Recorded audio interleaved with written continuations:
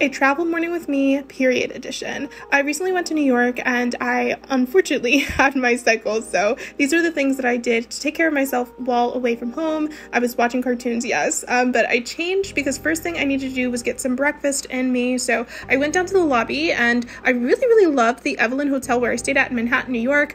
Um, they had a great selection of food for free with your stay so i decided to get eggs so i could have protein and iron and i also treated myself to a leftover milk cookie that was chocolate to curb my cravings. I just had a little bit in the morning just to make sure I felt my best. And then for my skincare routine, I made sure to add these little chill eye masks by NYX Cosmetics. They really help for puffiness, which we tend to have when we are going through it. Um, and I decided to start my morning also with some Midol for the crampies. And for that day, I changed into a really loose, cute baby doll dress, no makeup, easy hair, and canceled all of my social interactions and decided to end my morning in peace